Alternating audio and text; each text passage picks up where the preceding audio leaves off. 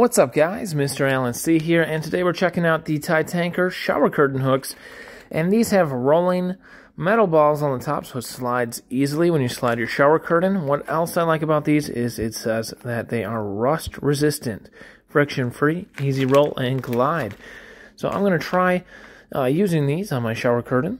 Look at those uh, Titanker water resistant shower hooks and yeah, there's no friction there. These are going to roll nice. We're going to be testing them in a minute.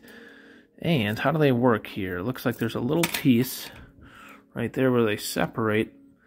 You can separate it, get it hooked on, and then uh, lock it back in place like so. So we're going to go set this up in my bathroom. Let's go.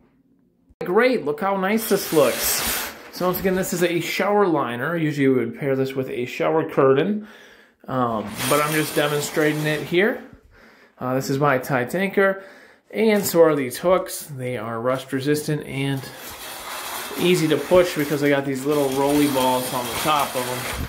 So how cool is that? That's a quick look at it, guys. Thank you for checking it out with me, and I hope you have a great day. Bye-bye.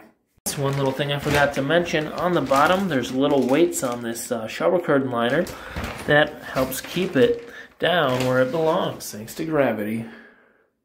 That's One little thing I forgot to mention, on the bottom there's little weights on this uh, shower curtain liner that helps keep it down where it belongs, thanks to gravity.